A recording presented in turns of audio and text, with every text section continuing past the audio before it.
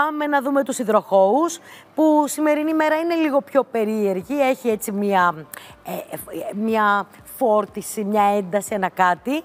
Όμως το Σαββατοκύριακο είναι ωραίο. Και είναι ωραίο γιατί η Σελήνη στον τοξότη σας πάει. Έχει να κάνει πάρα πολύ με φίλους, έχει να κάνει με ανθρώπους που αγαπάτε, που είναι διατεθειμένοι να είναι στο πλευρό σας και να σας φτιάξουν το κέφι και να σας τραβήξουν από εδώ και από εκεί και να βγείτε και να περάσετε ωραία και να ξεδώσετε. Άρα είναι ένα ωραίο Σαββατοκύριακο μέσα σε ένα διάστημα που αυτός ο Άρης είναι στο ζώδιό σας και δεν λέει να φύγει και που είναι πιεστικό.